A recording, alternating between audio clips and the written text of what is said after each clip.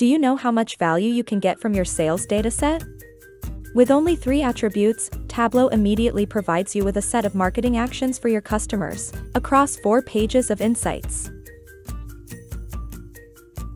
This Tableau Accelerator allows you to revive your customer base.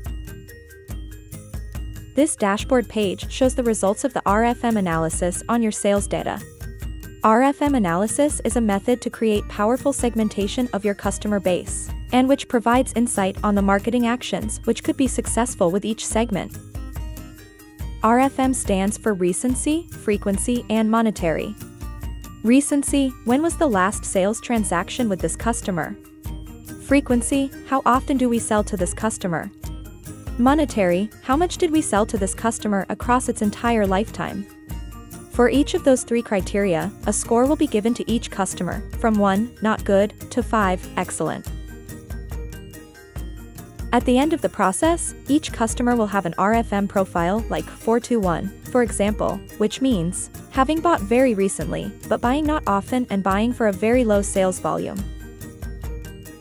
Then, we regroup the profiles with the same sales characteristics into segments. And finally, assign recommendation for each of them.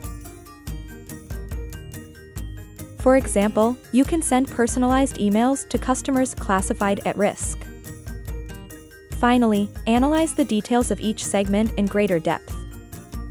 On the top right, the characteristics of the segment and the recommendations on the marketing actions to be taken.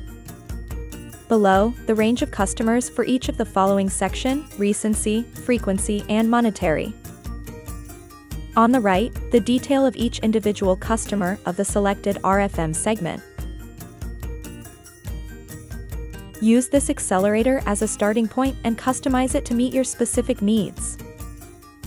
To learn more, visit us online.